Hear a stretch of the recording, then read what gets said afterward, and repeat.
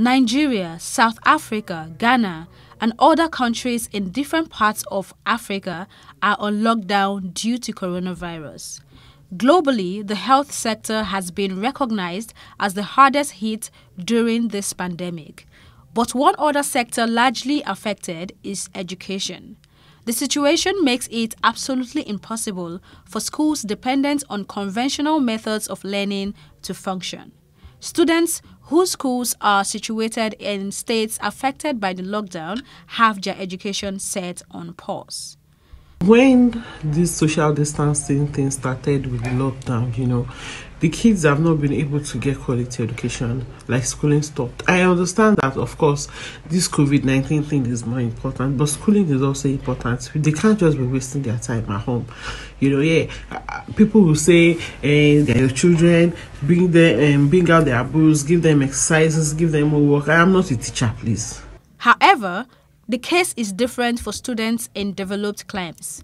Learning has not stopped as lectures and teaching are ongoing using digital tools. Somewhere in Japan, graduation was done via Skype. There's not so much changes made to the academic calendar. The only change is that classes have now been moved online.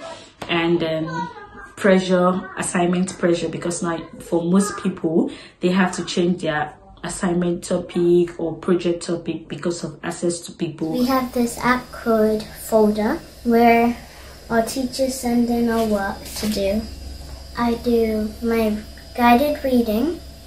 Um, I do some math with using an app called Mathletics. Um, I do some coding. Some schools in Africa have implemented the e-learning option or worst case scenario, have the tools ready for when they have to fall back to this option. But how do we rate the level of penetration of this aspect of information technology in Africa?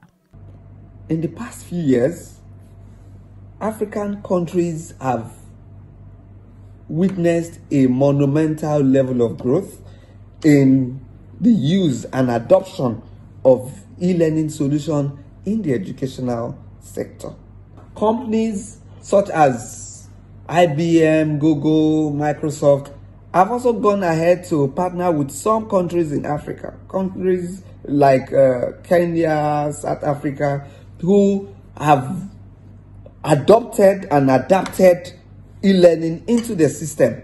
If there is one thing COVID 19 has done well, it is to remind us of the loopholes in our systems. What are the challenges of implementing online learning in Nigeria? Infrastructure, access and infrastructure. Um, you don't we don't really have stable infrastructure for the delivery of learning um, through digital tools and um, through online technology mainly because you don't have stable internet access. Stable internet access is the biggest issue that we have in delivery. Um, many students who have to watch videos read text do not have stable enough internet to be able to you know, to do that. So that that becomes an impediment um, on the other hand, infrastructure get, goes down to digital tools like having smartphones that you can use to, to interact with multimedia content.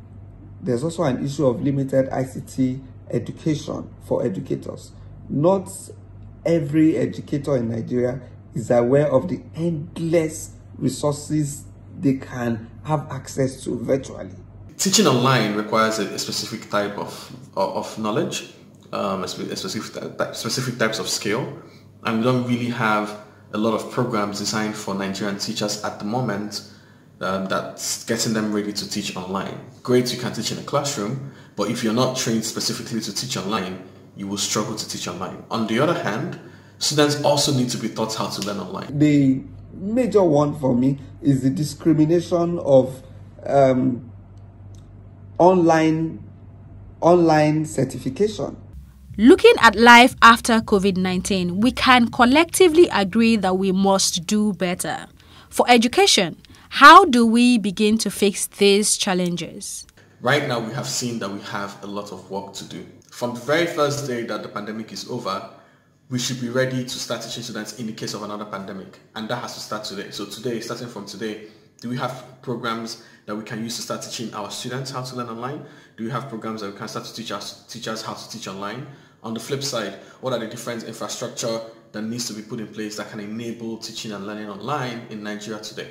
So post COVID nineteen is going to be we don't know when it's going to end. So it's for me it's mainly what we're going to do today, so that if we, if there's a pandemic tomorrow, students are not going to lose six months of learning. They're not going to lose a year of learning. Education is believed to be the bedrock of a country's development.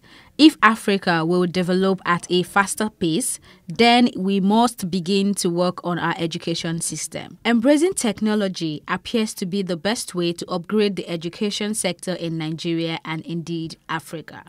Elsie Godwin for Plus TV Africa.